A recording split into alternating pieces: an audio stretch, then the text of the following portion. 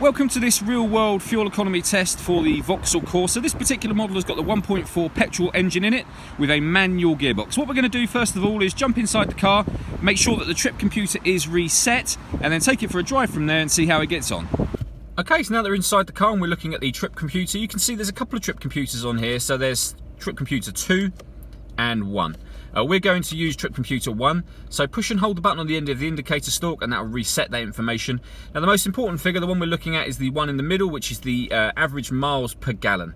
Uh, we will also uh, be able to tell the average speed just below that, which is handy. It gives a decent indication as to the type of fuel economy we can expect. So the drive that we'll be doing today is uh, predominantly town driving. Uh, so you'd expect a lower fuel economy and a lower speed. And then above that, it will show the distance that we've traveled on this drive. So let's take the car out and we'll see how it gets on.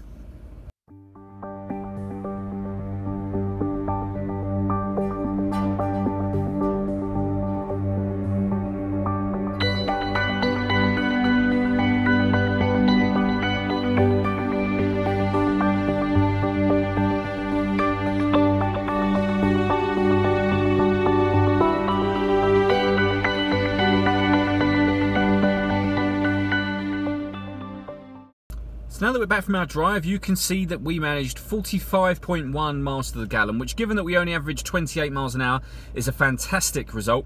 Uh, we covered 3.6 miles in total during the, uh, the drive that we've just had. If you'd like to come and have a drive of a Vauxhall Corsa for yourself, please feel free to call any of our MJA sites. We'll be more than happy to uh, try this test with you firsthand.